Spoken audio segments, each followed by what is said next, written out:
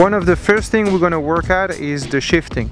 Uh, it's important to be able to shift into the right RPMs. Sometimes you get guys who shift too late and then the engine is way too high, or guys who shift too early, then you don't hear the, the bike at the right place. So having the right gear at the right time, it's very important because you basically the gate the the shifting should be very smooth. When you feel like you're just going through like a little butter it's mean you feel like you're at the right place.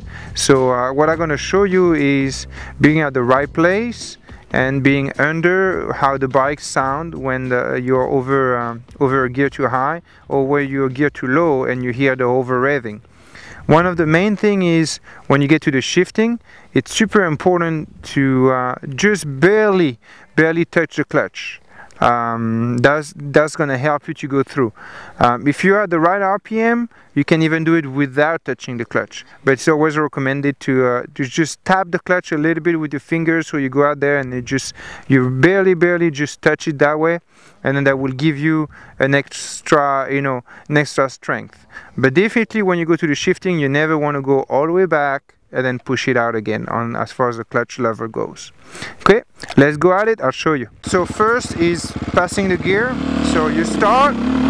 Hear the engine shift.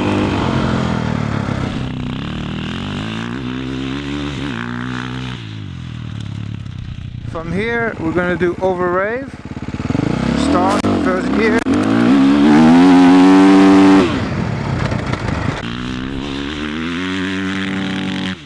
shifting.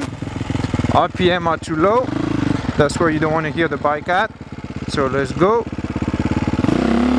Now okay you go go go